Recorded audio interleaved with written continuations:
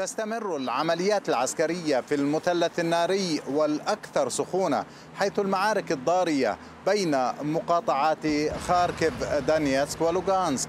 وبعد مطاردة القوات الأوكرانية للجيش الروسي الذي تمركز في مدينة كريمنايا أطراف مقاطعة لوغانسك يحشد الجيش الأوكراني عشرات الآلاف من المقاتلين على أطراف مقاطعة لوغانسك من أجل السيطرة على مدينتي ليسيشانسك وسيفيرودونيتسك.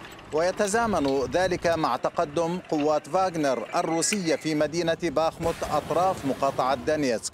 ذلك بعد سيطرتهم على بلدات زايتسيفا وفيسيلا دولينا وأوترادوفكا مع دفع القوات الأوكرانية للانسحاب والتراجع ومطالبة أوكرانيا لمزيد من الأسلحة والذخيرة من الغرب.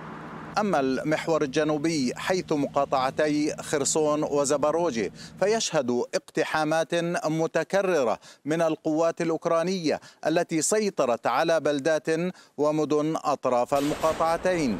وتدور معارك ضارية في بلدات بياتيخاتكي وسدو ويشنكا.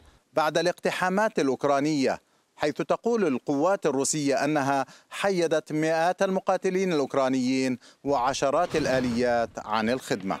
أما مقاطعة زبروجي المجاورة لخرسون فتشهد محاولات اختراق عديدة من منطقة كريفويروغ نحو المحطة النووية بينما تؤكد روسيا تصديها لهذه العمليات وتكبيدها للجيش الأوكراني خسائر كبيرة بالعتاد والجنود.